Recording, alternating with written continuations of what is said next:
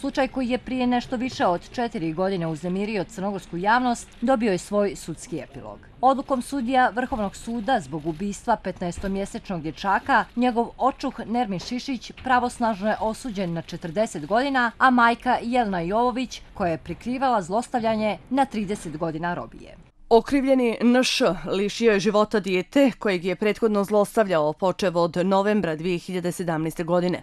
Pokojni P.J. koji u vrijeme umiranja bio star svega 15 mjeseci od navršene prve godine života pa do smrti bio je izložen intenzivnom zlostavljanju i mučenju koje je u konačnom dovelo do nanošenja teške i po život opasne tjelesne povrede uslijed koje je nastupio smrtni ishod.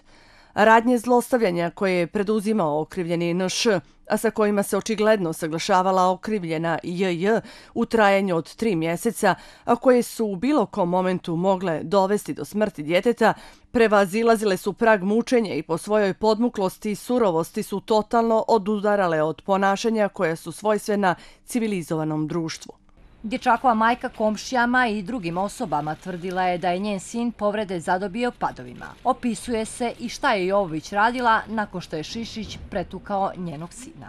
U jutarnjim časovima dana 4.2.2018. godine, kada je dijete plakalo, uključila je usisivač, a isto tako prikrivala tragove krivičnog dijela, tako što je peškirom ili krpom pokušala da obriše tragove krvi djeteta sa zidova, da bi potom dijete koje je uslijed preloma lobanje odavalo simptome slične pospanosti, oboje okrivljenih izvjelo iz kuće i uputili se ka Brdu Ljubović gdje je djetetu pozlilo. Nakon svega su Šišić i Jovovićeva pozvali hitnu pomoć koja je dijete odvela u klinički centar.